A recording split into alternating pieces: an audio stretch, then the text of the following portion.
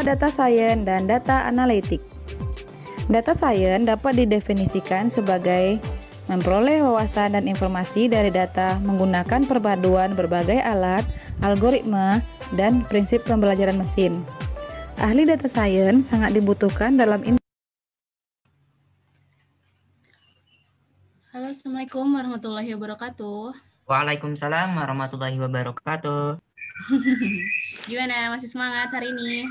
Di akhir tahun, tanggal 30 Desember 2020 ya. Mana lagi nih temennya? Yuk, kita mulai uh, perkuliahan ya hari ini. Mata kuliah Orkom. Masih ada empat orang lagi ya? Belum ya? sambil nunggu temennya mungkin kita nonton video aja dulu ya buat nambah wawasan kalian ya. Ini udah banyak juga yang join. Ya, Bu. Uh, ini saya akan kasih video informasi ya buat nambah wawasan kalian. banyak sekali tabnya, iya. Saya nyari apa artikel apa video-video yang kiranya nih bisa buat jadi charge kalian nanti ke depannya kalian mau ngapain gitu kan. Kalian mau tambah skill IT kira-kira mau concernnya ke mana gitu ya. Nah, terus apa kira-kira yang sedang dibutuhkan sama dunia industri ataupun yang dibutuhkan sama eh, apa ya? Ya para stakeholder di luar sana gitu kan. Kalian harus punya skill yang nantinya bisa memenuhi kebutuhan mereka gitu ya. Uh, ini ada video terbaru dia diupload tanggal 26 Desember ya kemarin empat hari yang lalu. Ini tujuh skill IT yang akan semakin dibutuhkan di tahun 2021. Jadi kita eh, apa ya? Kita mempelajari sesuatu itu oh ke depannya nih yang dibutuhkan apa. Jadi kita udah bisa prediksi gitu kan. Seperti itu. Kira-kira skill apa yang paling diminati uh, untuk lima tahun ke depan, untuk 10 tahun ke depan kayak gitu ya.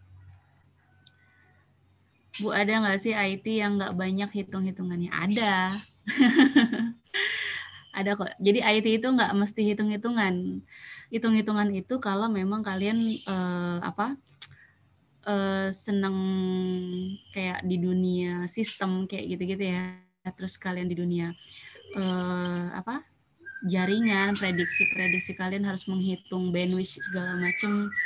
Kalian harus uh, apa mengerti kira-kira nih uh, apa kalau saya melakukan instalasi misalnya suatu network ya dalam skala besar hitung-hitungannya prediksi akuratnya itu seperti apa itu memang ada rumusnya tapi kalau yang nggak ada hitungannya banyak juga sebenarnya IT kayak kalian seneng desain grafis kalian seneng gambar kalian seneng main vektor ya vektor ya e, kalau suka main Shutterstock pernah dengar istilah Shutterstock aplikasi uh, edit Apa? foto itu ya? Uh, foto kenapa? Itu Shutterstock aplikasi ya bu? Ya dia uh, aplikasi yang di mana di sana itu banyak orang atau kontributor ya kita sebutnya kontributornya itu uh, katakan pelaku si pemilik foto ya foto yang sifatnya bisa dijual, yang bisa dimanfaatkan oleh orang banyak. Jadi foto yang kita ambil, kalau kalian senang fotografer, ya eh kalian senang fotografi, ya atau kalian pengen jadi seorang fotografer juga, kalian ingin gabungin ke dunia teknologi itu bisa gitu. Jadi kayak uh, prefix ya. Jadi kalian tuh uh, di Shutterstock itu foto yang kira-kiranya bagus, yang unik ya yang jenik gitu uh, itu biasanya kalau kalian upload terus kalian foto kalian diterima ya hasilnya kira-kiranya bagus nih. Terus kalian punya portofolio banyak di sana portofolio hasil foto-foto kalian. Nah itu banyak tuh nanti yang ngelirik. Kiranya kayak uh, apa perusahaan advertising media massa ya. Kayak koran digital, terus artik orang-orang yang suka bikin artikel. Nah, mereka kan pasti kan butuh gambar, butuh foto, dan mereka kan nggak ada waktu buat uh, apa? Untuk foto dulu gitu kan. Jadi mereka tinggal beli jadi. Nah, beli jadinya itu di Shutterstock gitu. Jadi kalian selaku uh, pemilik foto nanti akan dapat royalti, akan dapat dol apa dalam bentuk dolar. Nah, biasanya uh, yang paling banyak memang apa ya? foto-foto yang memang untuk dijadikan artikel.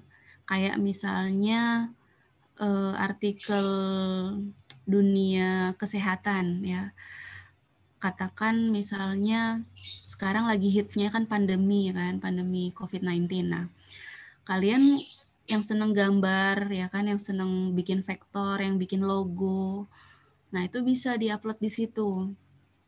Nah, logo ini kalau misalnya bagus nanti akan dibeli uh, sama orang luar sana dan itu pun yang melihat bukan hanya Indonesia, bukan hanya Asia Tenggara tapi seluruh dunia yang bakalan uh, lihat uh, hasil portofolio jepretan kalian atau buatan logo kalian atau vektor ya. Kalau vektor tuh kayak gambar gambar apa ya? Ya, kayak sketsa gitu. Uh, uh, ya kayak sketsa gitu kan. Jadi biasanya, kan biasanya kan, foto diubah jadi kayak kartun gitu, Bu. Nah, iya kayak gitu. Atau kayak misalnya terkait uh, pemandangan, terkait dunia wisata, terkait pantai, ya apa pun gitu kan. Kalian tulis di situ judulnya apa, deskripsinya apa. Ini uh, atau misalnya kalian ingin menceritakan uh, foto, suatu foto, foto itu kayak uh, culture ya, kultur dalam si apa di suatu daerah, misalnya uh, tarian suku Dayak dan lain-lain. Nah, itu bisa dijual.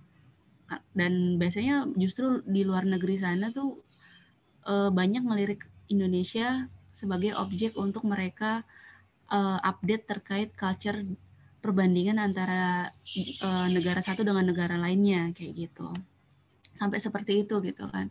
Dan kalau misalnya portofolio kalian udah banyak banget, ya nanti udah kayak pasif income gitu kondisinya.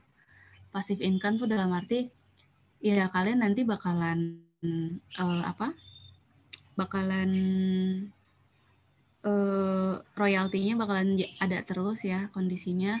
Terus juga foto-foto kalian bisa di uh, apa? diupload dengan berbayar. Satu foto itu ya lumayan ya 0,5 eh, dolar, ada yang 2 dolar, ada yang satu dolar, tergantung dari kualitas si foto itu gitu. Jadi kan kalau uh, kalian udah bertahun-tahun, terus foto-foto kalian kalian upload di situ udah banyak, ya kan? Nah itu kan uh, kemungkinan ya bakalan, apalagi kalau kalian udah banyak yang download foto-foto kalian, nah itu jadi trust bagi calon customer lagi gitu kan. Coba aja kalian uh, install ya Shutterstock sama Shutterstock Contributor.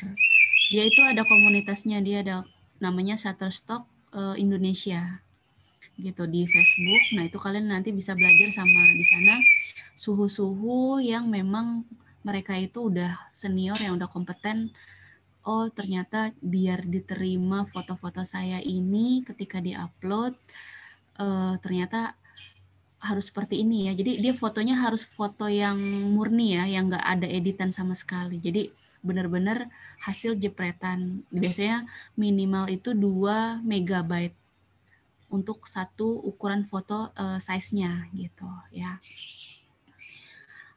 Uh, kayak gitu. Kalau kalian seneng dunia fotografi silahkan aja mulai dari sekarang coba foto-foto. Kalau nggak bisa beli kamera yang bagus kamera SLR kalian bisa juga kok pakai HP apa kamera HP yang sekarang udah banyak ya harga HP satu juta setengah HP 2 juta aja tuh udah bagus banget uh, pixelnya ya kan untuk foto-foto.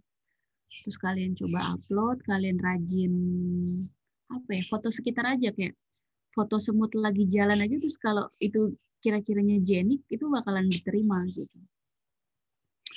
Kayak gitu.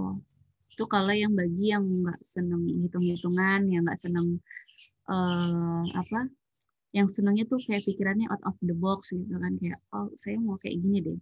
Saya seneng kayak gini gini. Saya seneng bikin logo. Lumayan kan kalau misalnya logo itu dipakai oleh suatu perusahaan atau suatu uh, bisnis ya, bisnismen, ya kalian juga bakalan dapat royaltinya juga gitu. Jadi memang ya ya terus update skill kalian aja gitu ya. Oke, uh, ini udah ada 14 orang ya. Oke, kita lihat dulu ya video yang satu ini ya, buat sebelum kita ke materi. Ini pembukaan untuk kita lihat skill yang kira-kira dibutuhkan di tahun 2021 ya. Kelihatan kan ya? Uh, suaranya kedengeran nggak? Kedengeran. Kedengeran, Bu. Hai semuanya, pada video kita kali ini kita akan bahas tentang 7 skill IT yang perlu kamu miliki di tahun 2021. Semenjak pandemi, sebagian besar pekerjaan diselesaikan menggunakan teknologi. Alhasil, tidak heran jika kebutuhan terhadap skill IT akan semakin meningkat di tahun 2021. Berbagai ahli menyebutkan bahwa kebutuhan skill IT ini diakibatkan oleh meningkatnya tren remote working dan work from home sehingga banyak perusahaan yang mengembangkan aspek teknologi dari bisnisnya. Skill-skill IT apa saja yang bisa kamu pelajari? Yuk simak penjelasan berikut ini. Yang pertama, cyber security. Skill IT pertama yang diprediksi akan semakin dibutuhkan adalah cyber security. Cyber security telah menjadi salah satu tren teknologi teratas pada tahun 2020 Hampir setiap perusahaan bergantung pada teknologi sampai batas waktu tertentu. Artinya, hampir setiap informasi yang dimiliki perusahaan tersebut rentan terhadap serangan dan kebocoran. Skill ini dibutuhkan perusahaan untuk mengumpulkan informasi pelanggan dan pengguna untuk menjaga jaringan tetap aman dari serangan. Dilansir dari Forbes, saat ini diperkirakan akan ada 3,5 juta pekerjaan cyber security yang belum terpenuhi pada tahun 2021. Ini berarti jika kamu mempelajari skill ini sekarang, kamu akan memiliki peluang besar untuk berhasil dan mendapatkan pekerjaan dengan gaji yang baik. Yang kedua, data science dan data analitik. Data science dapat didefinisikan sebagai memperoleh wawasan dan informasi dari data menggunakan perpaduan berbagai alat, algoritma, dan prinsip pembelajaran mesin. Ahli data science sangat dibutuhkan dalam industri seperti keuangan, perbankan, dan perawatan kesehatan. Skill IT ini diperlukan perusahaan untuk dapat membuat keputusan yang lebih baik berdasarkan data di tahun 2021. Keterampilan yang dibutuhkan mencakup dasar-dasar dan pengetahuan tentang bagaimana data dikumpulkan, disimpan, diatur, dianalisis, dan diinterpretasikan. Selain itu, kamu perlu memahami bagaimana cara menerapkan keterampilan ini ke berbagai domain termasuk keuangan, penjualan, pemasaran, manajemen operasional, dan manajemen sumber daya manusia. Yang ketiga, Big Data. Skill IT selanjutnya yang menurut Intela Pro akan semakin dibutuhkan di tahun 2021 adalah Big Data. Perusahaan memproses sejumlah besar informasi setiap hari, sehingga dibutuhkan wawasan mendalam mengenai data tersebut untuk meningkatkan bisnis. Kamu perlu memahami bagaimana data tersebut dimanfaatkan dan dianalisis untuk menghasilkan keputusan bisnis yang tepat. Yang keempat adalah cloud computing. Dapat dikatakan, pandemi menunjukkan kepada perusahaan dan bekerja cara memanfaatkan teknologi cloud untuk bisnis. Teknologi cloud telah membuka sejumlah saluran pendapatan baru. Memiliki keahlian cloud computing kini sangat penting karena signifikansinya di setiap keahlian lain yang ditetapkan dalam daftar ini. Pandemi juga telah mendorong pertumbuhan teknologi cloud. Banyak ahli berspekulasi bahwa permintaan akan skill IT ini akan meningkat di tahun 2021. Ini membuka peluang kerja bagi para ahli cloud computing yang dapat merancang, merencanakan, mengelola, memelihara, dan mendukung pengguna cloud computing.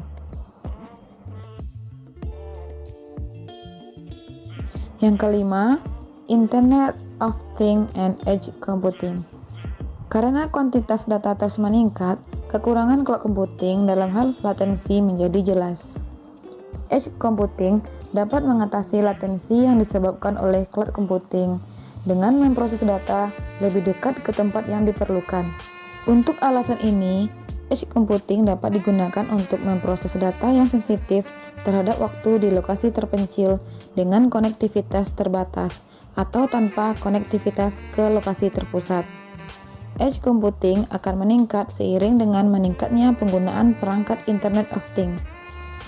Seperti skill IT lain yang dibutuhkan di tahun 2021, skill ini akan menciptakan berbagai pekerjaan, terutama untuk ahli software dengan pemahaman tentang teknologi dan kondisi yang diperlukan untuk integrasi Internet of Things yang berhasil dalam konteks bisnis. Yang selanjutnya adalah artificial intelligence dan machine learning. Machine learning adalah langkah untuk memberi tahu komputer cara menggunakan semua data yang tersedia untuk membuat keputusan atau menjalankan tugas dengan lebih efisien. Sementara itu, AI atau Artificial Intelligence mengacu pada program yang dapat melakukan tugas-tugas seperti pengenalan gambar dan ucapan, klasifikasi gambar, dan pengenalan wajah. Berhubung AI dapat melakukan tugas-tugas ini lebih cepat dan lebih akurat daripada manusia, keterampilan AI menjadi keterampilan yang sangat dicari saat ini. Bahkan, ahli berpendapat bahwa kedua skill IT ini akan semakin dibutuhkan di tahun 2021. Keterampilan yang paling dicari di bidang AI dan machine learning adalah TensorFlow, Python, Java, R, dan Natural Language Processing. Akibat popularitasnya, Profesional IT yang memiliki keahlian ini pasti akan diminati pada tahun 2021 dan mampu mendapatkan pekerjaan bergaji tinggi. Selanjutnya adalah software development untuk website dan perangkat seluler. Developer bertanggung jawab untuk merancang, memasang, menguji, dan memelihara sistem yang sesuai untuk website dan perangkat seluler. Bisnis yang ingin tetap relevan akan membutuhkan developer yang dapat membangun aplikasi seluler untuk mereka. Developer juga dapat membantu perusahaan merampingkan proses bisnis termasuk inventaris dan penjualan menggunakan sistem back-end. Memiliki salah satu dari tujuh skill ini akan membantumu mendapatkan pekerjaan dengan gaji yang cukup besar.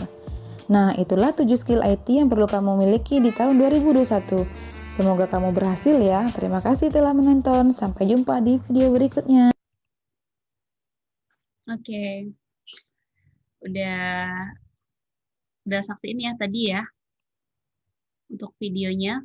Apa yang kalian kira-kira prefer lebih senang? Saya kayaknya lebih ke sini deh, Bu. Saya lebih senangnya ke sini deh gitu. Kan tadi udah ada tujuh tuh udah bisa kelihatan ya. Ada tujuh kategori uh, skill yang kiranya kalian bisa terapkan atau kalian apa ya? Ini oke, okay. sebentar ya.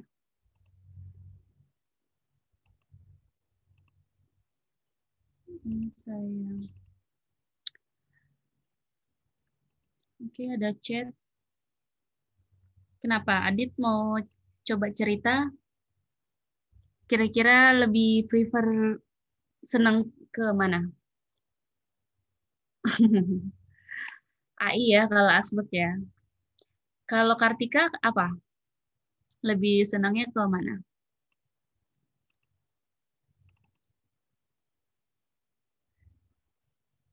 Halo, Kartika join sama kayak Asma. Oke. Okay.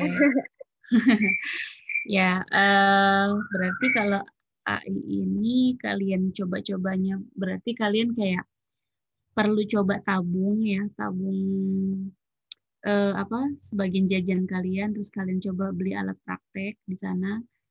Kalian coba uh, di YouTube sebenarnya banyak ya. Nanti kalau misalnya ada apa, ada hal yang ingin ditanyain, monggo.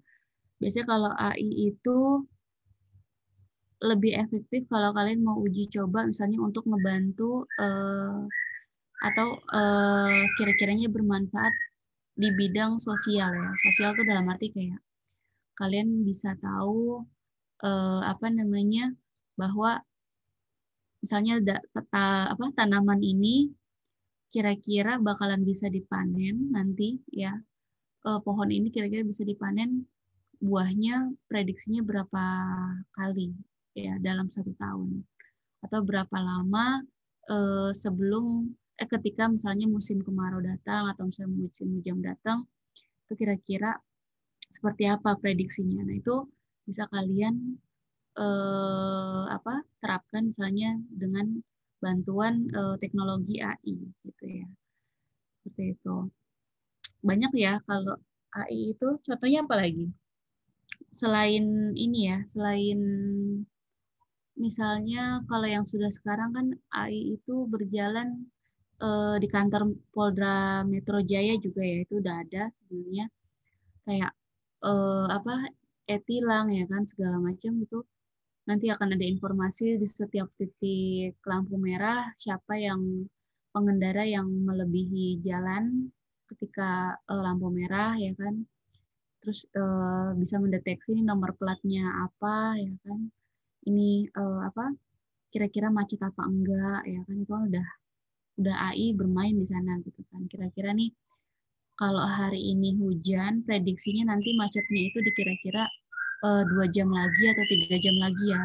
Gitu. Terus kalau macet saya harus dialternatifin saya ke jalan mana gitu kan. Nah itu kan udah kita rasain sekarang ya kan. Seperti itu. Itu salah satu dari contoh uh, teknologi AI yang bisa kita rasakan gitu ya. Oke, uh, selain AI ada yang senang ke mana? Kira-kira kalau di kalian? Ada yang senang big data? Atau mau coba belajar uh, apa? Kalau big data berarti harus belajar bahasa pemrograman Python gitu ya. Kalian di sini uh, apa? Kira-kira sertifikatnya udah banyak belum yang kalian punya? Sertifikat selama kalian menempuh pendidikan, misalnya di SMA-nya kah atau uh, sekarang-sekarang ini suka ikut webinar kayak gitu-gitu, kalian suka ikut kak? Suka mah. Suka. Nah itu kalau kayak gitu coba di continue terus ya, banyakin aja uh, sertifikat yang kiranya kayak nanti kalau misalnya ada info-info nanti saya share ya ke grup.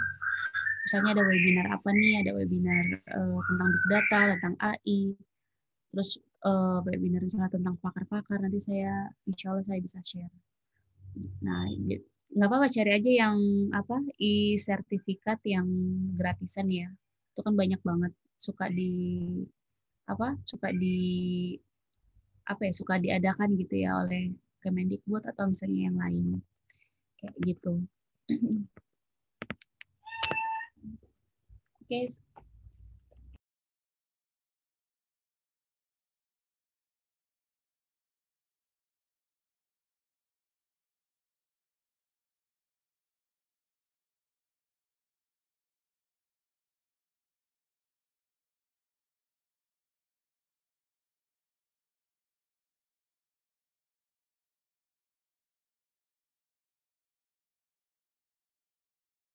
Oke. Uh, kita mulai perkuliahan aja ya untuk uh, hari ini. Untuk materinya kalian bisa download ya seperti biasa di e-learning ataupun di uh, Google ini ya. Di Google Drive udah saya upload. Hari ini kita di pertemuan 11 ya pertemuan 11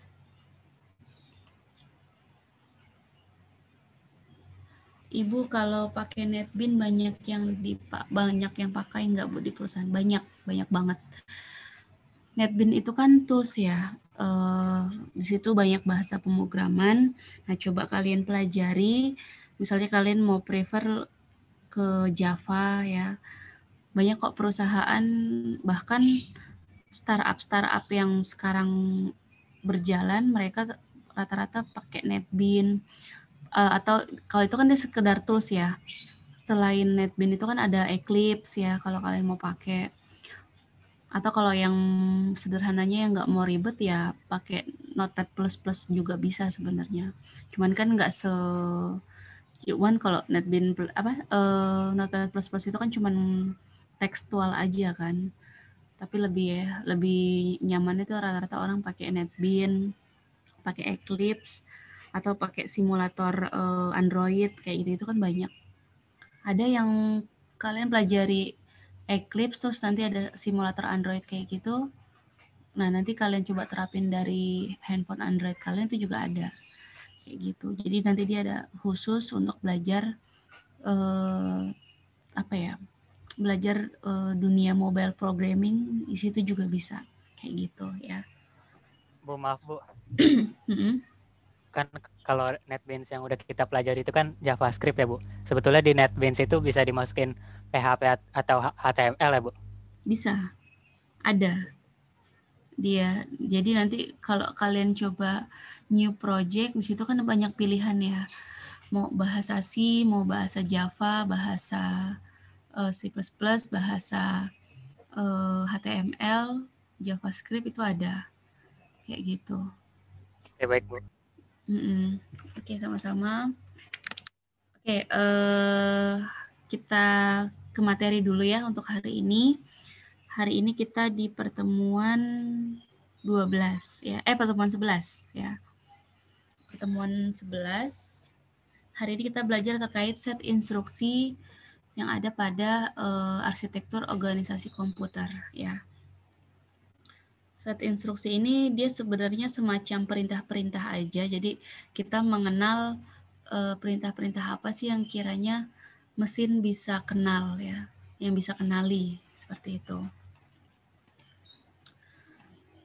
Nah, di sini outline yang kita akan pelajari hari ini itu yang pertama karakter dan fungsi set instruksi ya. Kemudian di sini juga ada Eh, elemen-elemen instruksi.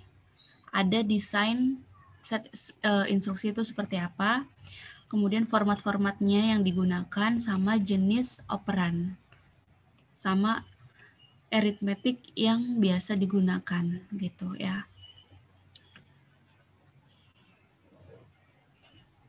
Nah, ini ini kurang jelas ya gambarnya. Sebenarnya ini maksudnya yang di sini adalah karakteristik, di sini elemen instruksi, di sini tipe instruksi, di sini tipe operan, di sini tipe-tipe operasi sama uh, instruksi perancangan gitu ya. Eh maaf percabangan ya di sini. Seperti itu. Nah, ini karakteristik dan fungsi set instruksi. Jadi di dalam CPU itu banyak sekali set instruksi yang kalau kita tuh kayak uh, di dalam tubuh kita darah ini kan berarti kondisinya dia akan mengalirkan energi apa uh, apa yang kita makan kemudian diolah oleh uh, apa pencernaan kita ya di lambung kemudian nanti uh, segala apa ya nutrisi gizi dan lain-lainnya uh, nanti akan didistribusikan lewat melalui darah ke seluruh tubuh ya kan ke otak ke mana lagi ke uh, ke hati dan ya ke semua tubuh ya kondisinya nanti. Nah, ini pun sama di CPU kondisinya pun dia akan mengirimkan sinyal-sinyal instruksi yang bisa dilaksanakan atau dijalankan gitu ya. Nah, biasanya instruksi ini disebut sebagai instruksi mesin atau machine instructions ya. Atau disebutnya instruksi komputer atau komputer instruction. Nah, kemudian uh, karakteristik ini juga bisa dikatakan sebagai kumpulan dari instruksi-instruksi yang berbeda yang dapat dijalankan oleh CPU disebut sebagai set instruksi ya. Jadi kumpulan dari instruksi-instruksi yang dijalankan nantinya untuk uh, apa yang dijalankan oleh CPU disebut namanya set instruksi. Nah, ini yang kita pelajari hari ini ya. Oke, uh, di instruksi ini sebenarnya dia juga ada nama istilahnya elemen ya. Elemen yang ada di dalam instruksi mesin. Yang pertama itu ada namanya operan uh, apa operation code ya atau opcode kita sebutnya. Biasanya dia yang menentukan uh, operasi yang akan dilaksanakan ya. Kira-kira apa nih yang mau direncanakan, yang mau dieksekusi gitu ya. Kemudian kalau source operand reference dia me, apa ya menjadikan apa sih yang kira-kira nih uh, inputan yang sudah dimasukkan nanti akan dilaksanakan ini seperti apa nanti dia hanya berupa source di sini kondisinya. Kalau elemen berarti kan udah bagian ya. Di sini ada operation code-nya, dibutuhkan source-nya juga. Kemudian nanti bisa terlihat result operand reference. Jadi hasil dari operasi yang telah dilaksanakan. Gitu ya. Ini result-nya. Kemudian ada next instruction reference. Di sini dia memberitahu bahwa CPU bisa mengambil atau fetch ya instruksi berikutnya setelah instruksi yang tadi yang sebelumnya itu uh, sudah selesai dijalankan gitu ya. Jadi ini elemen-elemen instruksi mesin bisa terbagi ya. Jadi operasi yang akan dilaksanakan itu disebutnya opcode, dibutuhkan source-nya juga. Nah, dari itu nanti bisa terlihat operasi eh, operan yang sudah dilaksanakan itu hasilnya seperti apa. Kemudian ada istilahnya namanya next instruction reference. Seperti itu. Jadi dia uh, akan mempersiapkan kira-kira nih instruksi yang nantinya bakalan dijalanin tuh seperti apa. Dia yang mempersiapkan gitu. Nah, uh, di sini source dan reset operan dapat berupa salah satu di antara tiga jenisnya. Jadi nggak uh, semuanya tiga-tiganya, tapi hanya salah satunya bisa. Yang pertama itu ada namanya main or uh, virtual memory. Jadi instruksi-instruksi itu juga bisa dijalankan kondisinya kalau memang hasilnya itu yang bakalan bisa digunakan itu virtual memory. Kemudian ada istilahnya CPU register sama IO device. Nah, ini di sini mereka mendapatkan instruksi-instruksi eh, misalnya contohnya saya mau update driver. Nah, Nanti yang berjalan kira-kira apa nih? Yang yang dieksekusi duluan di dalam CPU ini kira-kira apakah dia larinya nanti ke register dulu atau ke IO device? Nah, kalau misalnya eh, apa? Kita update driver berarti kita larinya nanti perintahnya itu terkait tentang IO device gitu. Misalnya saya mau update driver eh, apa? printer misalnya. Nah, itu nanti uh, akan dibaca oleh I/O device misalnya. Bagian dari I/O device. Kemudian uh, desain set instruksi di sini uh, dia punya masalah yang memang sangat kompleks yang melibatkan banyak aspek. Biasanya kalau desain set desain set instruksi ini dia harus melihat kelengkapan set, set apa kelengkapan set instruksinya. Jadi kira-kira nih yang bakalan dieksekusi perintah-perintahnya harus runut, harus harus sesuai dengan yang dibutuhkan. Kalau misalnya nggak sesuai, nanti dia akan nolak biasanya, gitu. Kemudian instruksi ini sifatnya harus independence atau disebutnya istilahnya ortogonalitas, ya. Independen di sini berarti dia memang membawa eh, apa atau menjalankan instruksi sesuai dengan kebutuhannya masing-masing. Jadi dia nggak bisa mencampuri, oh kalau saya mau menjalankan instruksi terkait I/O device untuk printer, saya nggak bisa mengajak untuk misalnya untuk uh, apa uh, eh, I/O device-nya misalnya untuk kebutuhan uh, apa ya misalnya, misalnya terkait uh, plotter dan lain-lain seperti itu ya sesuai dengan hardware yang dibutuhkan. Nah, kompatibilitas di sini dia berupa source code, ada juga berdasar object code ya. Kalau source code berarti dilihat berdasarkan eh, apa? Kira-kira nih eh, perintah yang dijalankan sesuai enggak dengan eh, hardware yang sudah tertanam di dalam CPU atau laptop. Tapi kalau object code biasanya kondisinya dia dilihat kira-kira nih tipe seriesnya sama nggak ya uh, dengan yang dibutuhkan oleh spek laptop saya merek uh, Samsung atau merek Acer gitu kan. Nah, itu dilihat berdasarkan objek code-nya dari berdasarkan hardware alatnya gitu ya. Nah, ketiga aspek di sini juga uh, melibatkan beberapa hal. Yang pertama itu istilahnya ada namanya operation repertoire ya. Di sini berapa banyak dan operasi apa aja yang disediakan dan seberapa sulit operasinya ketika dijalankan ya. Ada istilahnya juga uh, data types ya. Jadi tipe atau jenis data yang bakalan diolah. Kemudian juga ada namanya instruction format. Jadi bisa dilihat uh, format yang di diberikan perintah atau diinstruksikan itu misalnya dari sisi lengthnya, dari sisi IP address dan lain-lain, kira-kira pengalamannya udah cocok apa belum? Kayak gitu. Kemudian dari jumlah banyaknya register yang digunakan sama teknik pengalamatannya, gitu ya.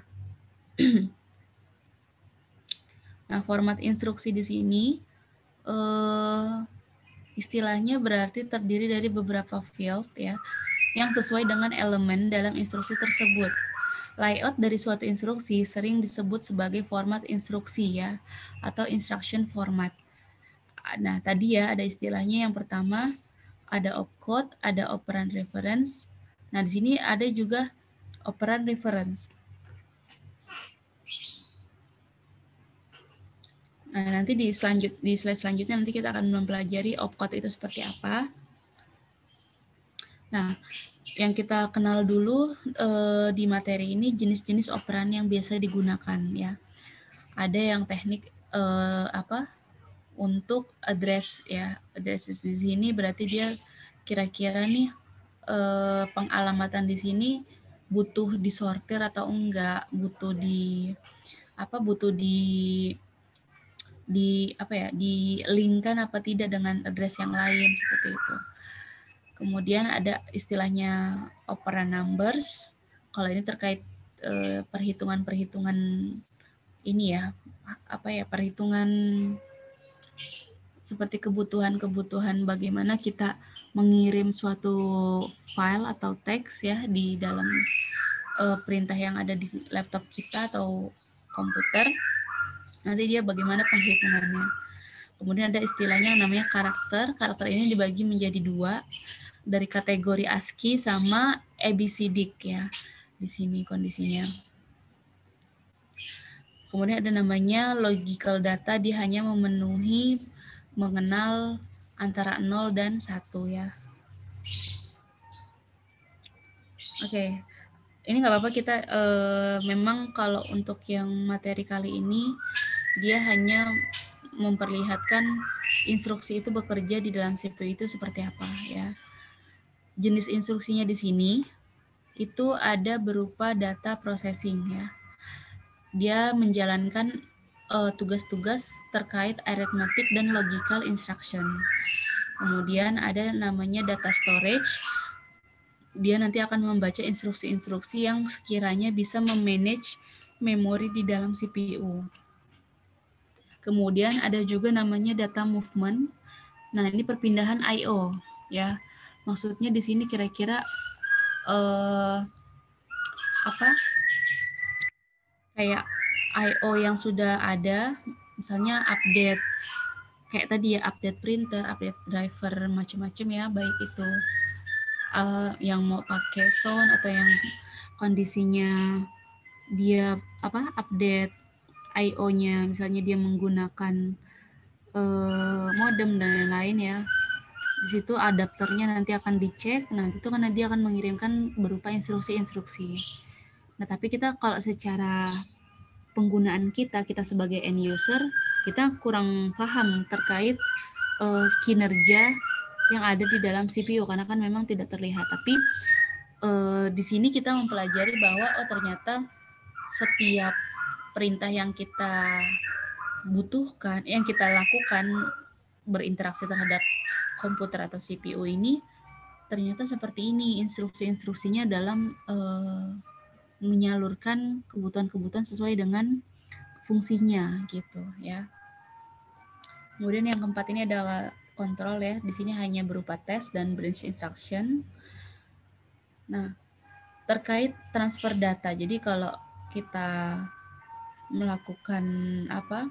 pengiriman data, biasanya kan di situ kita dilihat berdasarkan kapasitasnya ya. Ini kira-kira kalau saya mau kopikan data yang ada di hard disk ke dalam CPU ya, ke dalam uh, memori yang ada di CPU, kira-kira nih ber, butuh berapa lama? Butuh berapa lama file ini selesai saya transfer?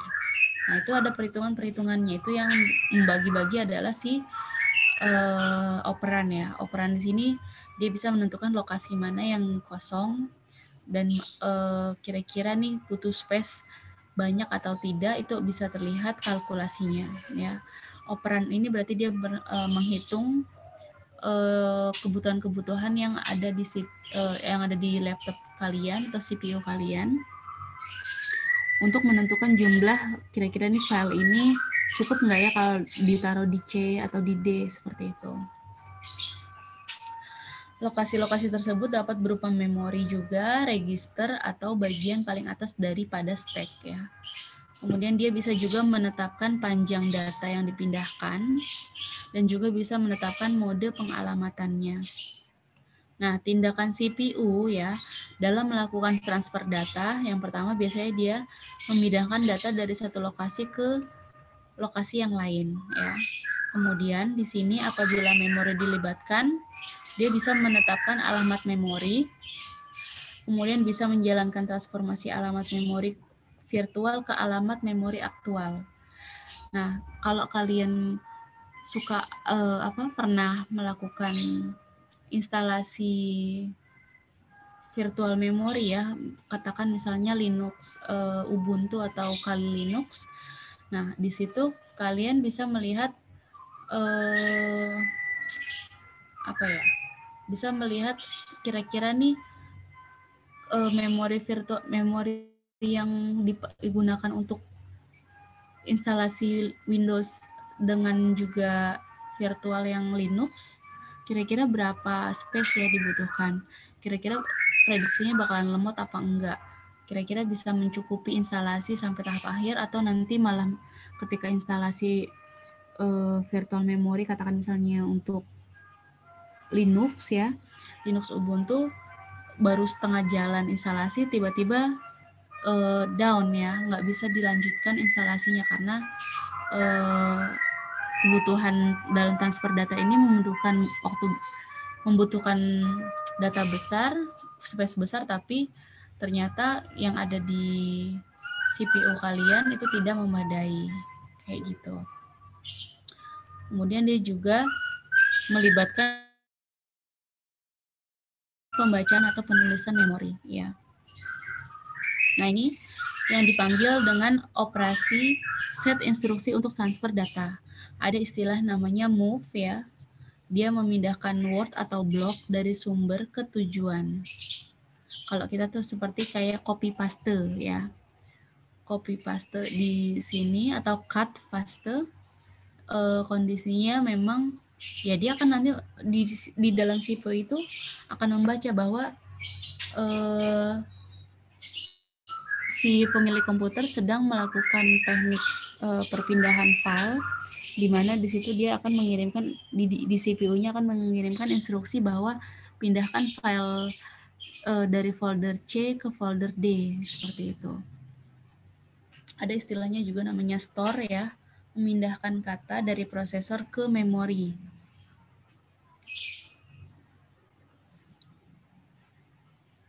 Kemudian ada load ya, ada load di situ memindahkan word dari memori ke prosesor. Ada exchange berarti dia menukar isi sumber ke tujuan. Kemudian ada clear atau reset dia memindahkan word eh, apa? word katakan misalnya dari nol ke tujuan. Kemudian dia bisa eh, ada istilahnya message ya, memindahkan word satu ke tujuan, ada push sama ada pop. Nah, biasanya uh, push sama pop ini yang paling banyak digunakan dalam mentransfer data.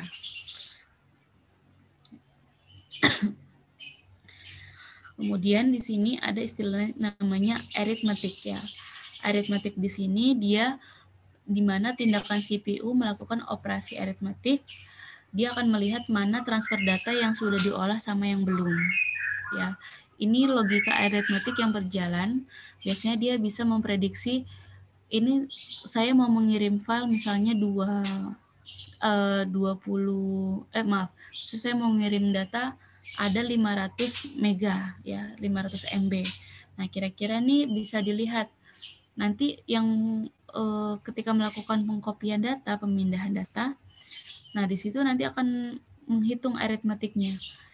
File apa yang kira-kira lebih ringan itu yang sudah sampai di tujuan.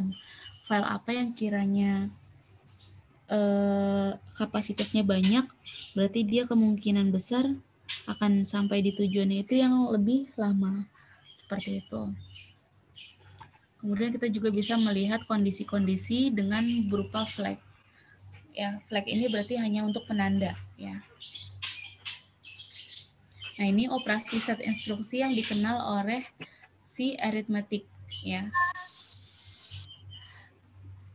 Di sini ada add ya atau penjumlahan, ada subtract pengurangan, istilahnya ada multiply perkalian, ada divide pembagian, ada absolut, ya, ada negatif, ada decrement, ada increment, ya. Nah, nomor 5 sampai 8 merupakan instruksi operan tunggal. Nah, yang ini jadi dia operannya tunggal maksudnya kalau saya mau apa mendata dalam suatu negara misalnya di dalam eh, CPU saya data-data negara ini saya mau sifatnya mau increment apa decrement. Nah, itu bisa. Atau misalnya perhitungan uh, dalam saldo kas ya. Misalnya dia kondisinya kira-kira nih uh, dari total keseluruhan kondisinya dia nanti akan plus atau minus nanti akan terlihat seperti itu. Nah, bedanya aritmetik sama logikal, kalau logikal di sini berarti dia tindik apa tindakan CPU-nya sama memang dengan aritmetik, tapi di sini logiknya ini menggunakan uh, operator ya. Ada AND, OR, NOT sama XOR ya. Kemudian ada compare, ada test, ada shift, sama ada rotate gitu. Ini hanya istilah-istilahnya ya yang bisa dijalankan di dalam uh, perintah yang ada di mesin uh, katakan di CPU. Kemudian sini ada istilahnya namanya konversi. Nanti kita lihat videonya ya biar kalian nanti ada gambaran uh, perhitungan untuk operan sendiri.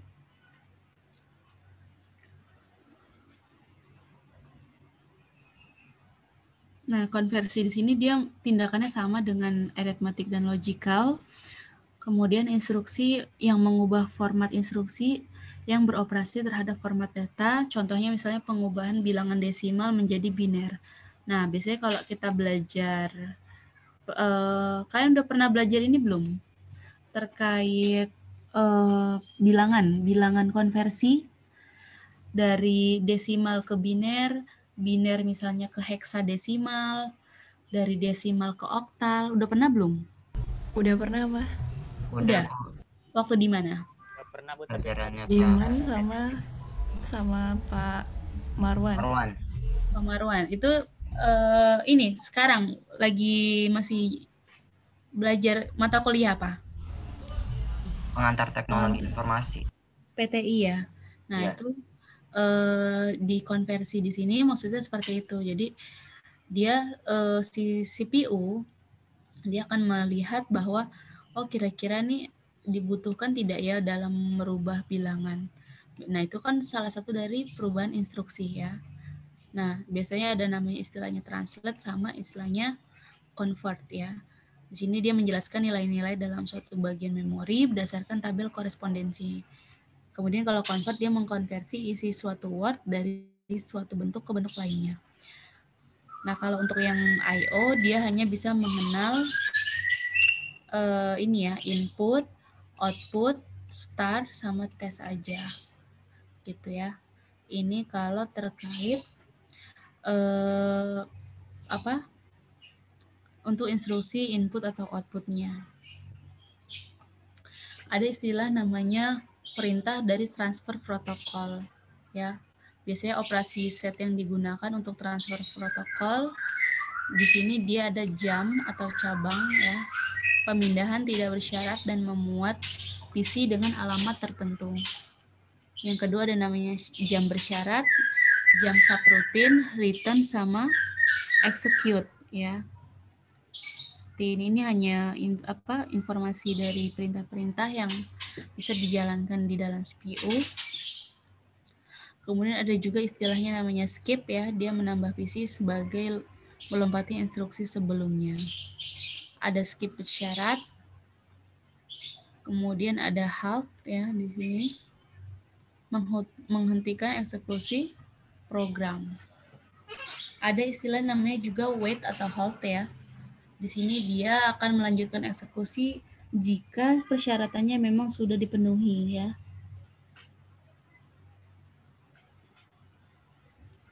Kemudian ada juga istilahnya namanya no operation. Tidak ada operasi yang bisa dilakukan ya. Control system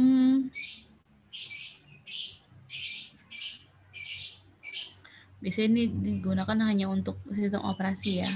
Dia bisa merubah eh, nilai-nilai uh, register yang bakalan dikirim kira-kira mau cepat atau lambat. Nanti akan dibantu oleh sistem ya, oleh si control system.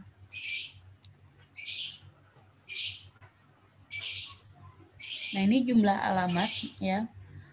Uh, number of address. Di sini dia mengabarkan arsitektur prosesor di mana melihat jumlah alamat yang terkandung pada setiap instruksinya. Nah, alamatnya memang di sini ada empat alamat, ada tiga, ada dua, ada satu. Ya, nanti tinggal disesuaikan eh, apa? Kalau kalian mau belajar number of address di sini, berarti kalian harus bisa membedakan mana yang empat alamat, tiga alamat, dua alamat, dan seterusnya. Nah, ini contoh-contoh dari instruksi menurut jumlah operasi yang dispesifikasikan. Yang pertama, uh, O ya, address instruction. Kemudian ada uh, tetap ya address instruction, ada address instruction juga dan seterusnya. Jadi 0, one to many, many to many. Ini modelnya seperti itu ya maksudnya. Ini kalau dia kosong ada one, ada many, ada many to many gitu ya. Seperti itu.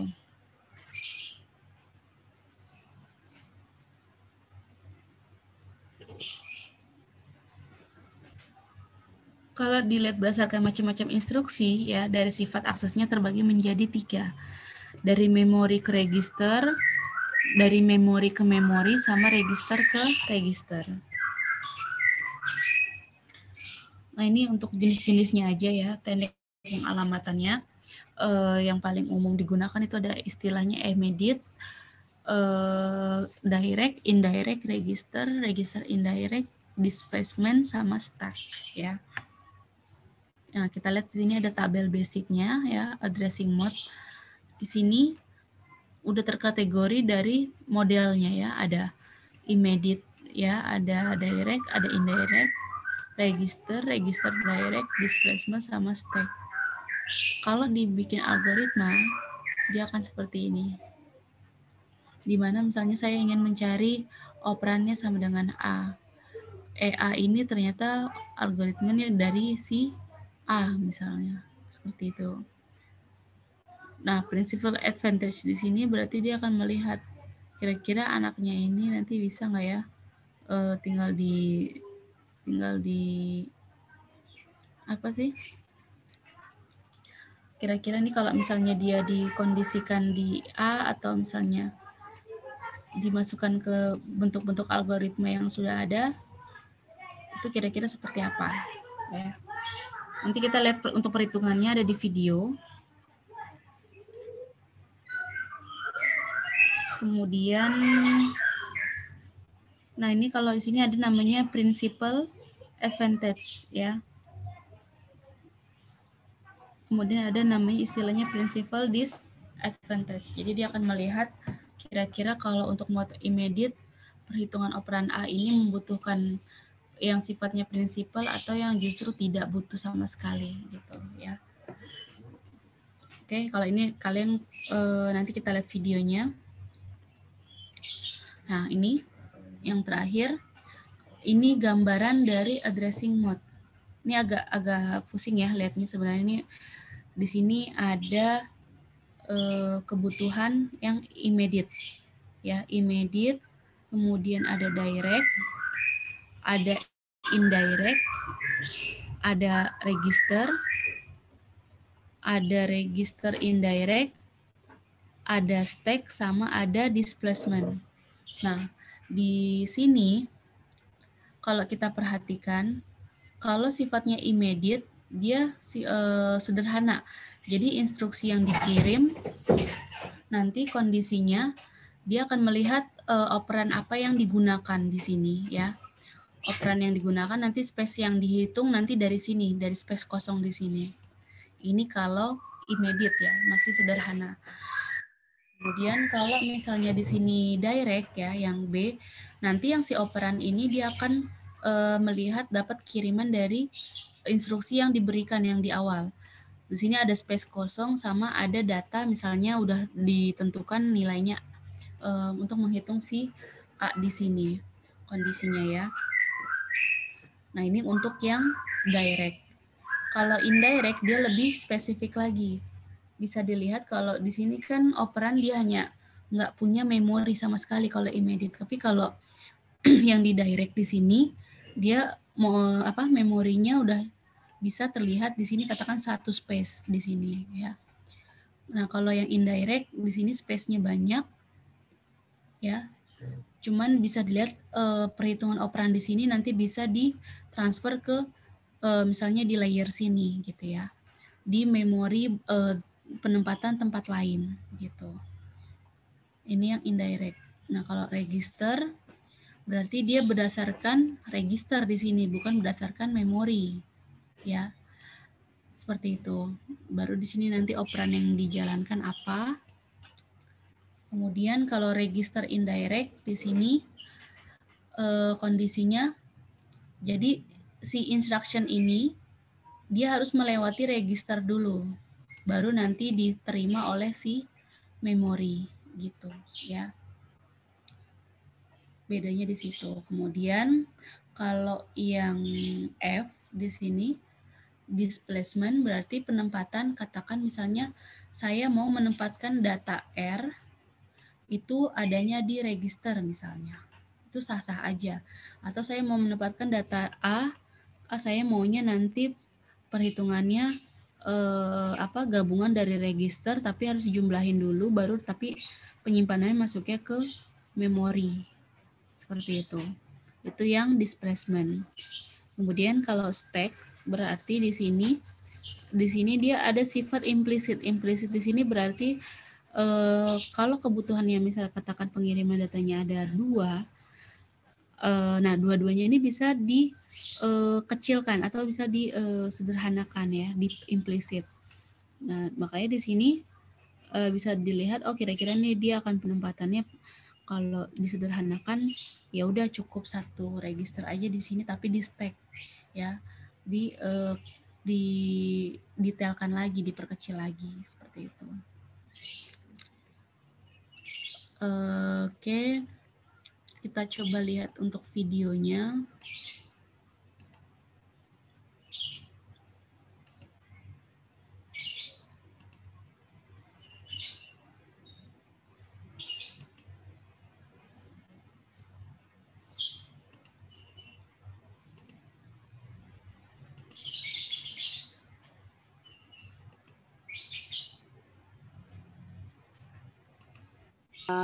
Ada nilai nilai yang dimengerti sebagai juga terdapat elemen dari SHR untuk uh, shifting mode mode pengalamatan untuk mentransfer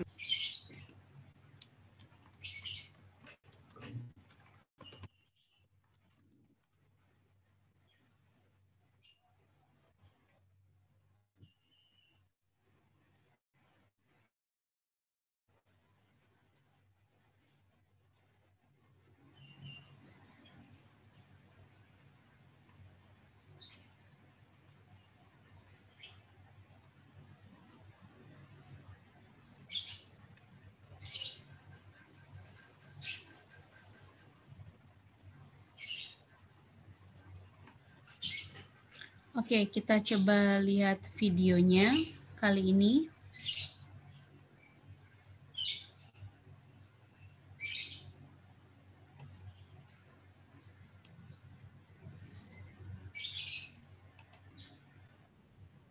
paham ya dan oh, ya.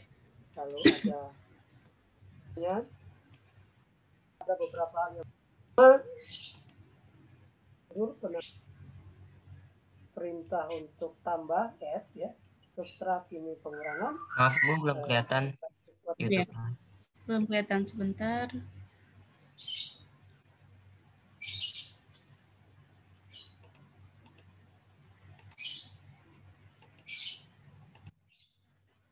Kelihatan? Sudah?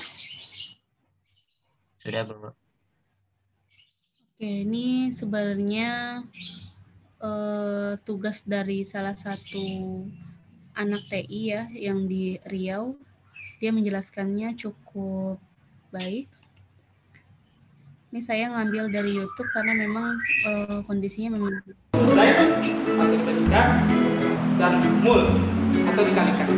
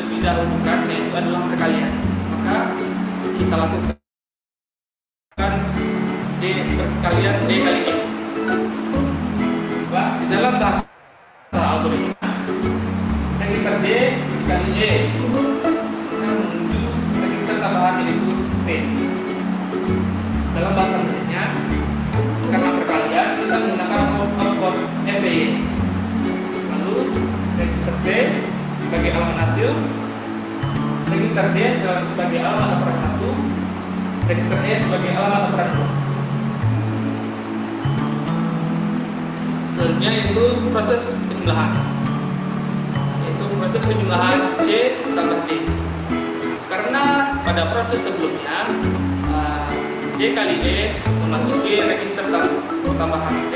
Maka penjumlahan yang kita lakukan yaitu adalah register C jumlah register T pada bahasa berikutnya register C tambah register tambahan D lalu masuk ke dalam register T pada bahasa mesinnya penjumlahan maka output yang digunakan yaitu adalah N alamat hasilnya register T alamat operan satunya register T. Alamat operan duanya. Register C. Masuk ke dalam proses terakhir, yaitu pembagian antara register Z dan register T. Di dalam bahasa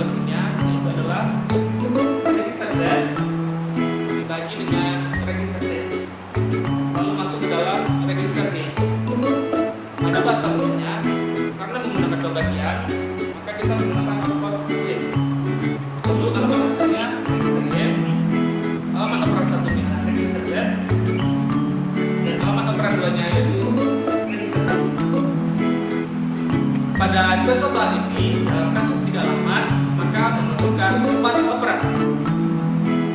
Woi, woi, udah. Aku lagi.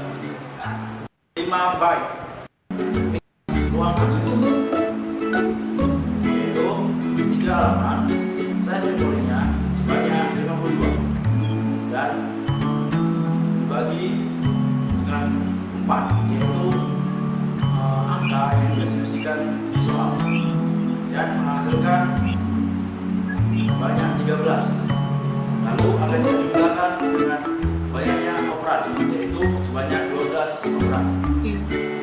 dan Sebenarnya untuk perhitungan set instruksi di sini kondisinya memang eh, ketika mengoperasikannya itu eh, melalui si CPU yang mengirimkan nanti ke register ya. Register di sini eh, dan memori biasanya kita butuh eh, kalau mau lihat perhitungannya biasanya kita melihat ada tools tambahan ya. Kalau ini kan secara perhitung-hitungan eh, apa teknik-teknik dari rumus-rumus yang sudah ada di set instruksi gitu kan ya. Tapi memang kita eh, mempelajari materi kali ini untuk set instruksi bahwa oh ternyata instruksi-instruksi yang dijalankan oleh eh, pembagian di dalam CPU atau laptop misalnya eh, di suatu perangkat eh, perangkat keras atau perangkat lunak itu memang ada perhitungan set instruksinya. Kalau di sistem mungkin kayak add, eh, edit, modify, kemudian delete dan lain-lain.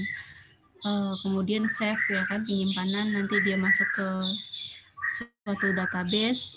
Nah, kalau set instruksi di sini berarti dia teknik pengalamatannya aja atau kondisinya dia eh, apa memberikan instruksi perintah-perintah terkait tadi ya ada I/O device ya input output device kemudian eh, perjalanan instruksi-instruksi yang diberikan misalnya satu tambah lima berapa kemudian instruksi yang dijalankan oleh register nanti akan ditampung register oleh atau akan ditampung oleh register atau uh, memori utama seperti itu. Atau misalnya mau ditambahkan di virtual memory seperti itu.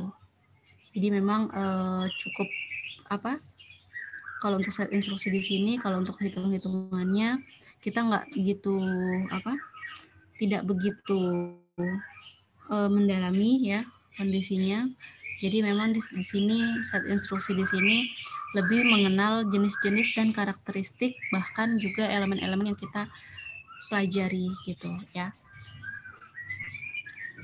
Uh, Oke, okay. kita break dulu ya dua menit.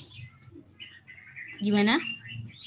Nanti sebenarnya materi kita udah selesai, tapi nanti ada video yang tadi saya sudah cari-cari itu ternyata kemarin ada yang request terkait apa? Cyber ya? Halo? Cyberbok kata. Cyber? Cybrok ya? Apa? Halo? Kemarin apa deh? Maul? Cyborg. S C eh sebentar, C Y ya. Oke. Coba ya. Sebenarnya ada video tambahan yang saya tadi udah lihat. Itu Asbak Bu kalau nggak salah yang nulis. Asbak ya. Coba ya.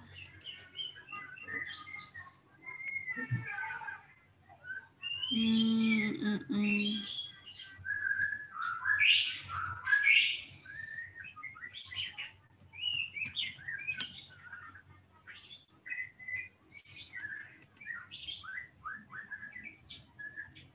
Seperti ini maksudnya? uh, ini apa? Cyber Revolution. Oh itu maksudnya mungkin apa? Apa ya? Misalnya alat bantu berupa robot gitu, alat bantu untuk ind panca indera gitu bu, mungkin maksudnya. Oh gitu, gitu. Manusia setengah robot kok nggak salah bu. Manusia? Kenapa? Manusia setengah robot kalau nggak salah. Manusia setengah robot. Oh, seperti ini ya. Coba kita lihat yang mana nih video yang menarik. Kita coba lihat yang ini ya. The word in uh, oh ini coba lihat deh, coba nih. 25 From things in the air to new things for our bodies, join me as we explore 2050. What would be the future technology? From things in the air to new things for our bodies, join me as we explore 2050. What would be the future technology?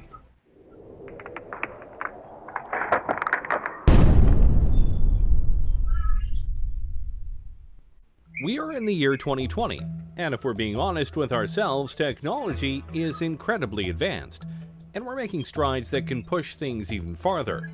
We have cars that are much safer than they've been in the past decade, and we're even making fully electric cars that can help save the planet. There are even plans for self-driving cars and even self-driving Ubers that make the future of transportation very exciting. And that's just one technology that we're growing at a fast rate. What about all the others that are out there? What will technology be as we get closer and closer to 2050? Let's start with one that well and truly could happen very soon drones. Wait a minute, drones are already here. And yes, they are. But more times than not, the drones you are seeing are small, piloted by people who are just trying to have some fun, or the ones that are used by the military right now for strikes and surveillance. All very fun, but in the future, drones could be an integral part of our daily lives.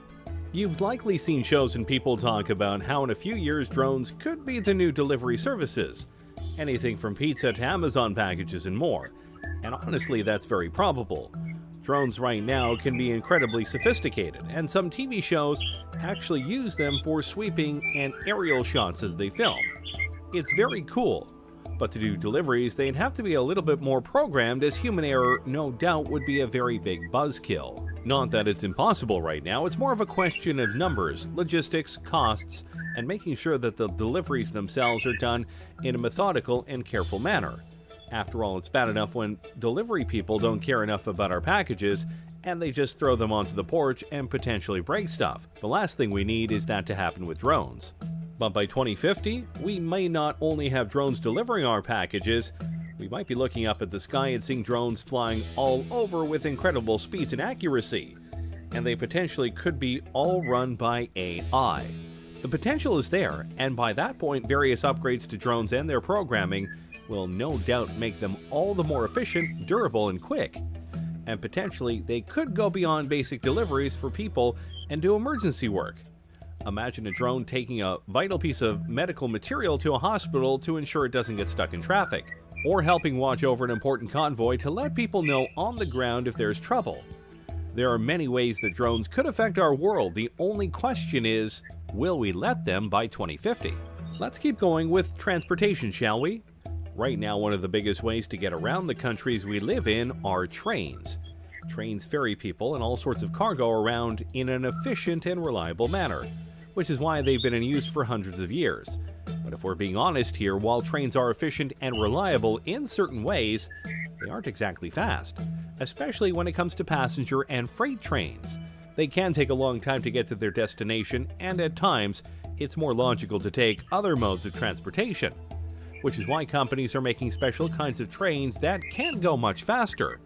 You know of the magnetic trains of Japan, no doubt, but others, like the Virgin Hyperloop, are trying to push things even farther. Passengers or cargo are loaded into the Hyperloop vehicle and accelerate gradually via electric propulsion through a low-pressure tube. The vehicle floats above the track using magnetic levitation and glides at airline speeds for long distances due to ultra-low aerodynamic drag. Science fiction? Hardly. In fact, the first vehicle of the Hyperloop has already been tested and proven, and some larger tests are being scheduled for the next few years. And if this works, traveling across the country will be much faster. How much faster? The Hyperloop aims to send people shooting across the tubes that they make at a rate of about 600 miles per hour. Which means if they were able to do this across the entire United States from east to west, or vice versa, you could travel across the whole country in about 5 hours give or take considering it would take much longer for a regular train ride or car ride.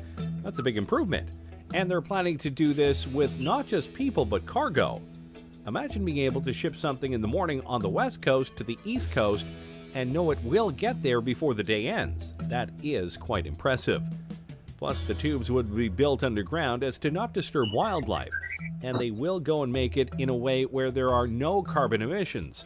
So they're fast, they're reliable, and they won't harm the planet. Seems like a win all around. Of course, you do have to wonder what it would be like to be on a 600 mile per hour train thing, but hey, we'll just find out soon. And by 2050, this could be one of the main modes of transportation around the world. Before we show off even more technologies we could have by 2050, be sure to like the video and subscribe to the channel. That way you don't miss any of our weekly videos. Okay, we've had some fun ones, but now let's go deeper down the rabbit hole and talk about the ones we all fear. AI. Yep, artificial intelligence. And no matter what way you look at it, people are seriously trying to make it happen, and make it happen soon. AIs are literally everywhere, including in your cars, and in your homes via devices like Alexa, which are indeed forms of AI. And there are things like Watson that is so smart that it could beat two Jeopardy legends.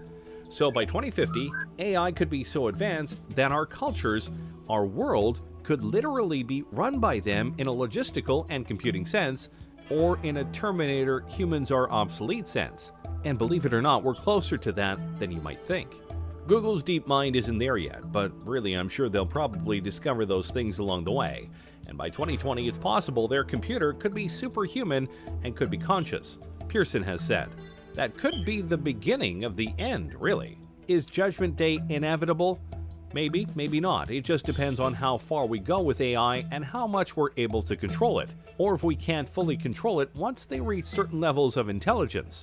Of course, for all of our worries about AI, there is a chance it could be all fine. Imagine if the lighter side of sci fi comes through in regards to AI, and we get a bright future powered by AI. Think about it. What if by 2050 we each get our own unique AI?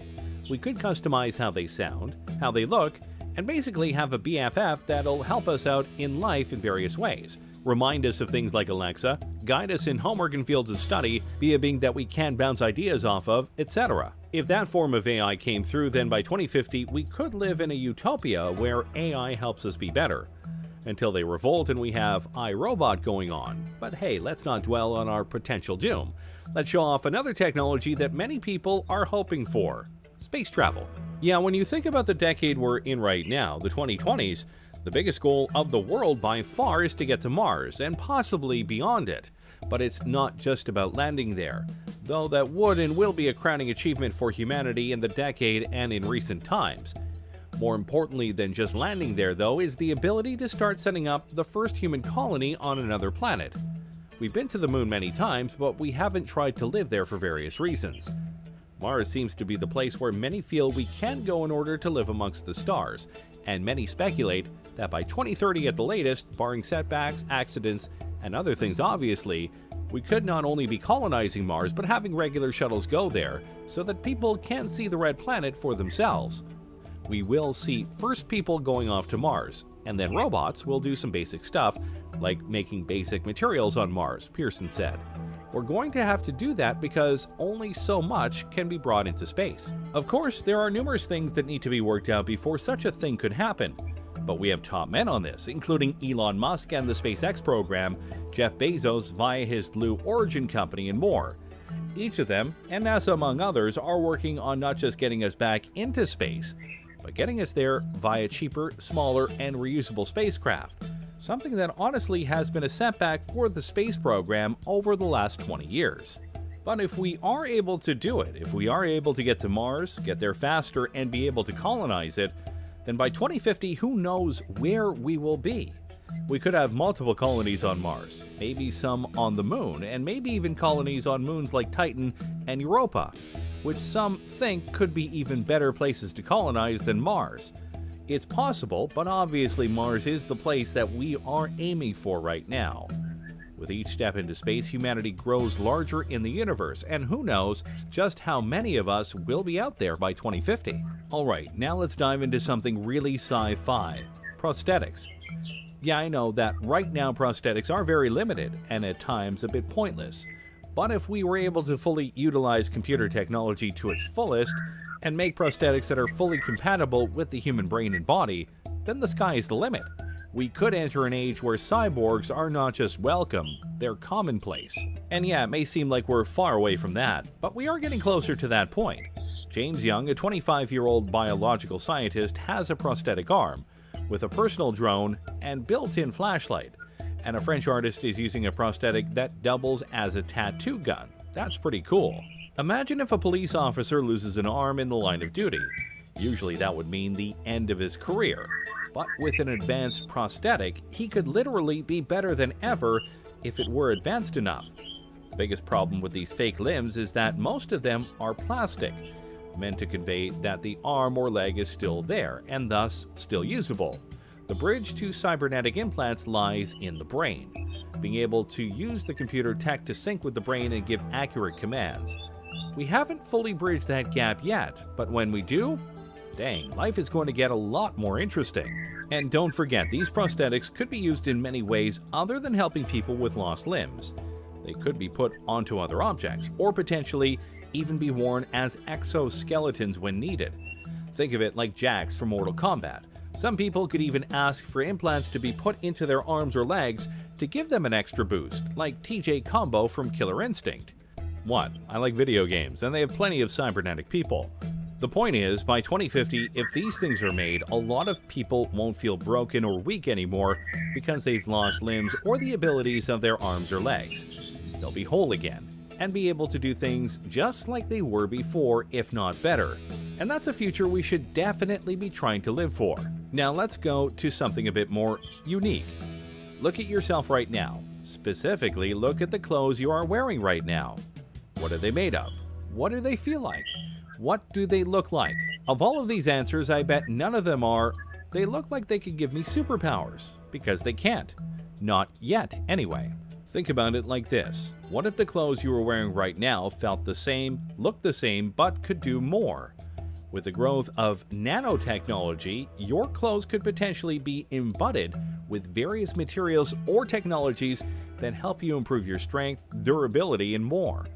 For example, what if you had a shirt on that was light as a feather, but could absorb impacts and leave you with no injuries? That would be pretty impressive and important, especially in this age of gun violence we live in. Ini videonya cukup ini ya. Ini baru future teknologi. Kayaknya terlalu jauh ya kalau 2050.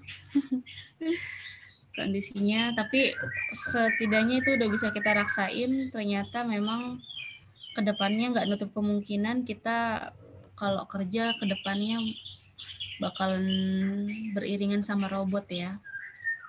Nanti banyak robot yang memang lebih menjala, lebih banyak menjalankan fungsinya ya. Oke. Eh,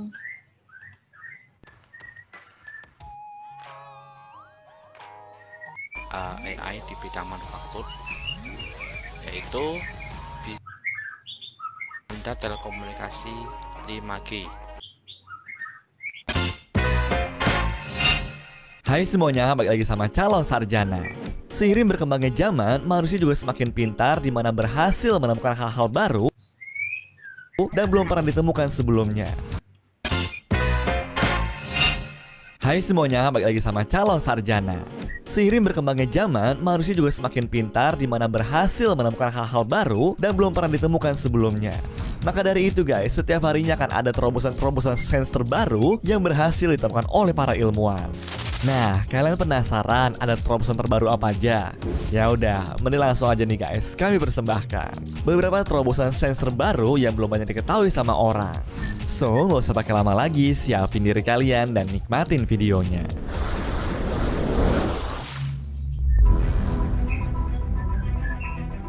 Vaksin penyakit Ebola Dikenal sebagai suatu virus mematikan yang bisa ngebuat penderitanya berpulang ke rumah bapak, pastinya kalian pernah mendengar penyakit yang satu ini kan?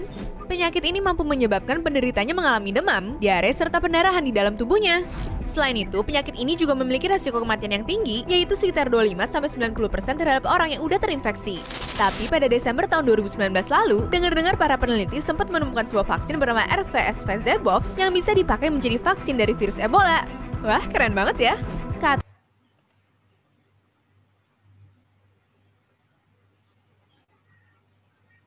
Hmm, bentar ya. Kayaknya ini lebih cocok yang ini deh. Sekarang sudah ada 5G, cuman di negara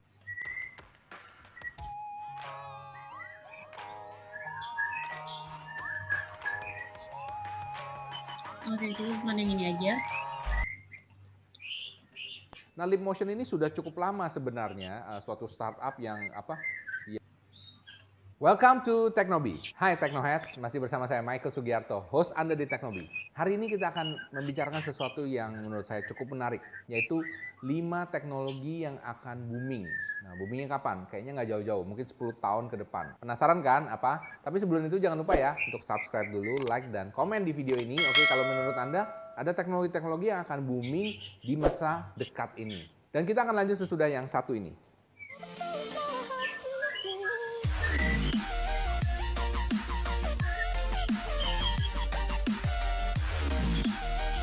Welcome back to Teknobi.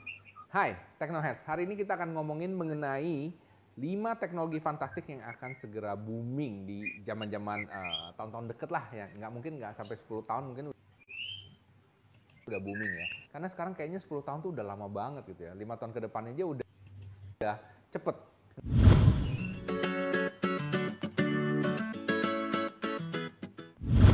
Nah, ini teknologi pertama yang menurut kita akan booming yaitu artificial intelligence. Well, namanya canggih banget ya. Artificial intelligence atau AI itu apa sih? Nah, mungkin Anda mulai sering dengar ya kan, misalnya kayak kemarin ada satu uh, apa? Ada satu kamera ya kan, satu kamera, uh, satu kamera, satu handphone yang kameranya ada AI-nya katanya. Maksudnya apa AI? AI itu basically adalah suatu program ya kan, ini program uh, intelijen bikinan manusia yang bisa mikir sendiri ya kan. Jadi Uh, kalau zaman dulu tuh intinya kalau kita bikin program itu Anda harus kasih input nanti keluarnya seperti ini itu udah kita yang ngatur. Tapi kalau AI itu dia mikir sendiri ya kan bahkan lebih canggih lagi AI ini kayak kayak living things ya dia bisa mikir sendiri bahkan dia bisa create program-program sendiri untuk bantuin dia. Sedikit agak apa agak mengerikan sih sebenarnya. Cuman kayaknya ini adalah solusi salah satu yang paling penting uh, di dalam peradaban uh, kemajuan manusia di masa-masa akan mendatang. Salah satu yang sangat dipakai banget adalah kemampuan untuk compute, kemampuan untuk berpikir cepat. Gimana caranya memproses suatu data ketika hal itu masuk. Contoh misalnya, contoh seperti ini. Driverless car atau mobil tanpa supir. Oke, okay. Mobil tanpa supir, Anda harus bayangin. Supirnya biasa siapa? Biasa manusia betul kan? Pada saat kita nyetir itu kan kita harus mikir ya, maksudnya ini lampu merah kan, kapan ngegas, kapan ngerem ya kan, ada sensor kiri kanan itu aja kadang-kadang salah. Nah, AI itu fungsinya seperti itu. Dia akan mikirin itu semua. Jadi semua data ini masuk, ada sensor, ada ada jarak depan belakang, lampu arah dan lain sebagainya dan kemudian di compute jadi satu dipikirin. Apa keputusan yang harus dilakukan? Haruskah dia ngegas? Haruskah dia ngerem? Haruskah dia sampai parkir dan lain sebagainya? Itu harus dipikirin semua. Bisa dilakukan oleh AI. Dan AI ini baru bisa belakangan ini karena kenapa? Makin lama namanya prosesor itu makin lama makin kecil, ya kan? Makin kecil dan makin cepat dan makin murah. Itu juga yang paling penting. Oke. Okay? Dan sekarang ini kayaknya AI sudah tidak bisa dibendung lagi dan sooner or later itu akan menggantikan banyak sekali pekerjaan-pekerjaan manusia. Nah, kalau kamu mau tahu pekerjaan-pekerjaan apa yang digantikan oleh AI, Anda bisa cek video di atas ini. Saya pernah bikin satu, kurang lebih menurut saya sekitar ada 8 pekerjaan yang agak bahaya untuk digantikan oleh AI. Ya, meskipun ini masih kontroversial, tapi kita lihat aja di tahun-tahun selanjutnya. Oke? Okay?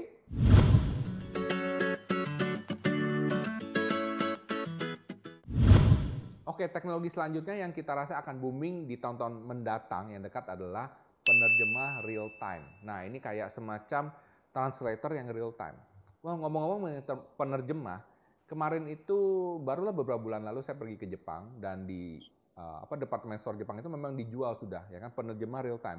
Jadi bentuknya kayak uh, kayak alat seperti gini, kamu beli uh, nggak terlalu mahal dan kalau kamu ngomong bahasa Inggris, dia akan langsung translate ke bahasa Jepang.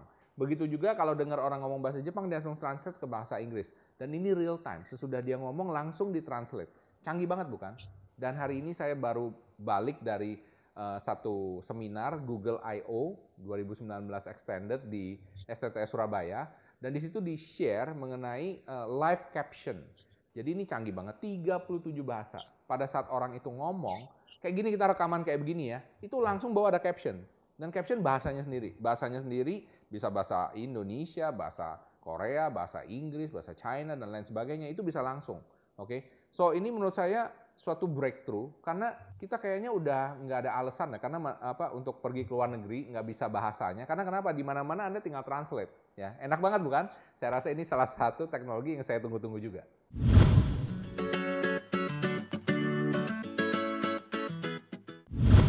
teknologi selanjutnya yang menurut kami akan sangat booming di tahun mendatang dan kayaknya ini lumayan cepat nih itu adalah teknologi electrovibration atau teknologi auto vibrasi. Nah maksudnya ini apa?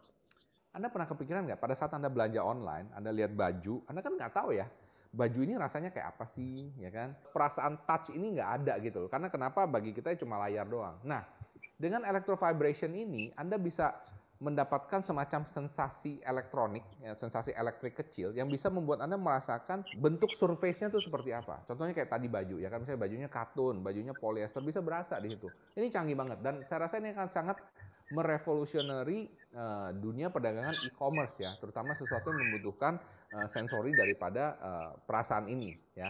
Nah, ini merupakan salah satu teknologi yang menurut kami akan booming di tahun-tahun mendatang.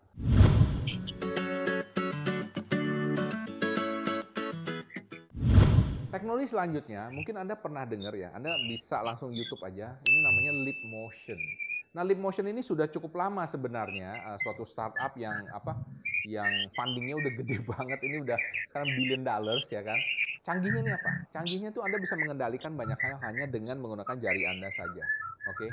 Jadi Anda bisa ngebayangin ya, misalnya Anda bisa gerakin komputer hanya punya pakai jari cuma begini, set gitu kan. Anda mau ganti channel cuma begini doang, set kayak gitu loh.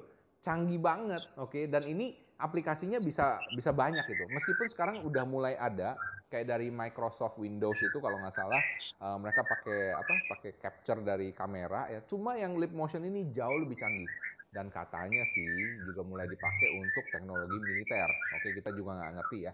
Tapi kayaknya teknologi ini uh, cepat atau lambat akan keluar dan kita akan bisa mulai merasakan gimana rasanya pakai Leap Motion ini dalam kehidupan kita sehari-hari.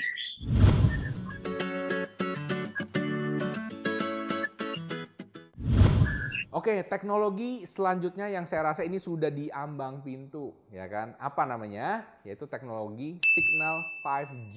Yes, 5G. Kita sekarang kan masih 4G nih ya. Saya masih ingat banget dulu masih 3G, 3,5G. 4G aja kayaknya udah cepet banget gitu ya. Kalau 4G di Amerika atau di uh, Jepang atau di Korea itu memang cepet. Tapi 5G ini katanya jauh lebih cepet lagi. Gila banget, oke? Bayangin ya downloadnya 150 megabyte per second. Kalau 150 megabyte Anda harus bayangin ya. Untuk video high definition aja, itu hanya perlu sekitar 300 sampai 500 megabyte. Ya, itu untuk satu setengah jam. Jadi 150 megabyte Anda cuma perlu tek tek tek selesai satu video. Gila ya. Jadi downloadnya tuh benar-benar cepat. Nah, sekarang pertanyaannya, siapa yang perlu data segini cepat dan segini banyak? Well, jawabannya itu tadi. Kita balik lagi ke AI ya. Karena di AI itu akan butuh massive amount of data yang untuk jalanin, terutama untuk autonomous autonomous machine, ya kan? Misalnya kayak drone jalan sendiri, uh, kayak driverless car, ya kan? Bisa komunikasi dengan rumah. Dan Anda sekarang misalnya sudah mulai pakai Google Drive atau lain sebagainya. Bisa dibayangin nggak? Kayak Google Drive itu udah seperti udah seperti hard disk Anda sendiri di komputer. Secara secara apa aksesnya sudah seamless karena saking cepatnya. Dan ini bahkan tidak perlu kabel, ya, alias wireless di mana-mana.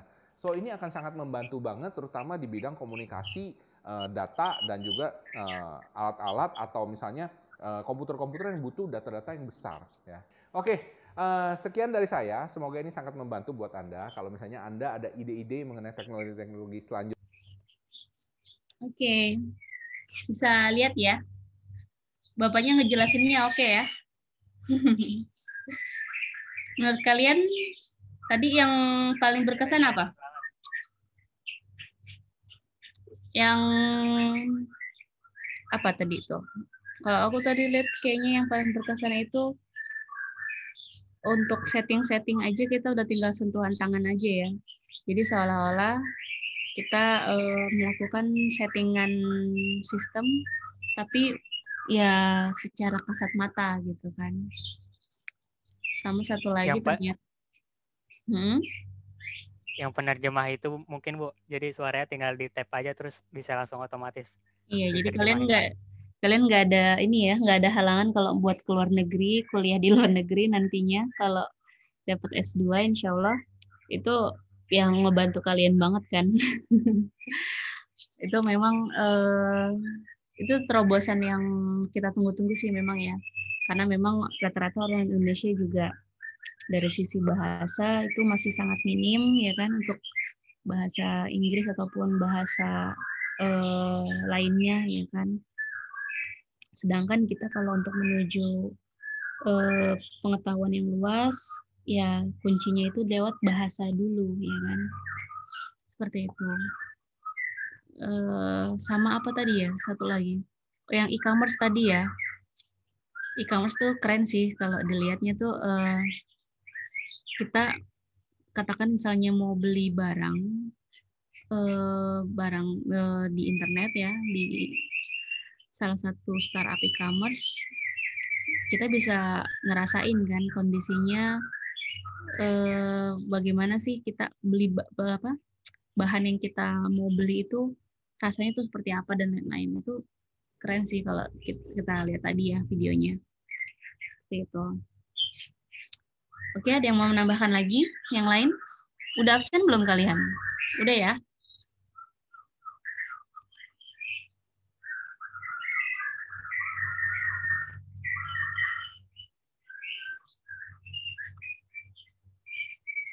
Oke, ada pertanyaan untuk perkuliahan hari ini?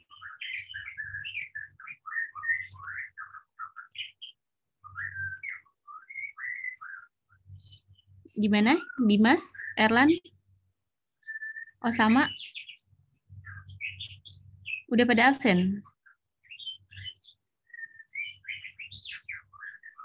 Absen sudah, Bu. Udah, oke, siap. Jangan lupa uh, kita nanti ketemu lagi di tahun depan ya. kita ketemu di tahun depan di tanggal perkuliahan mulai lagi tanggal 4 Januari kan ya.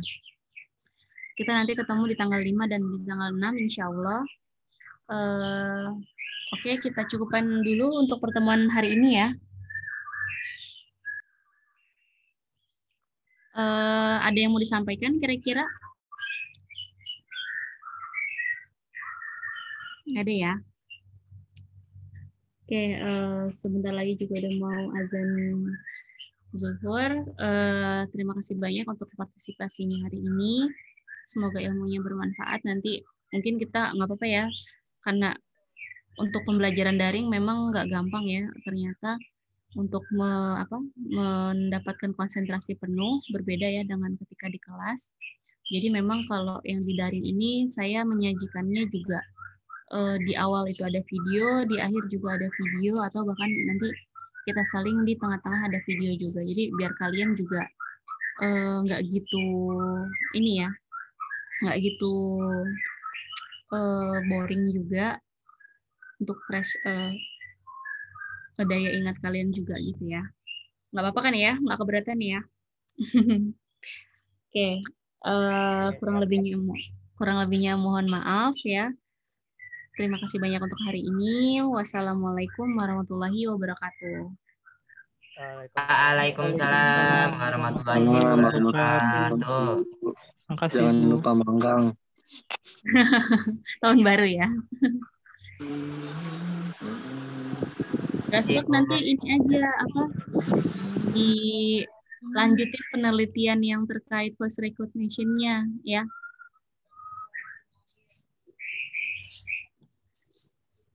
Oh, laptopnya nggak kuat ya. Nggak liburan. Oke, kita kelas dulu.